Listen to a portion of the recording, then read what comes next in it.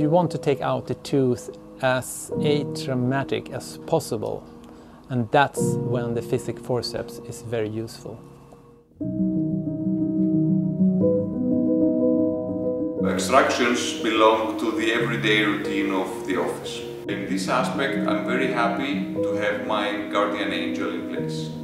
This is how I call the physics forceps.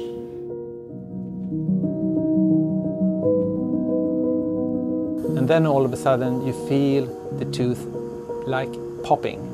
It starts moving. And that's all you need.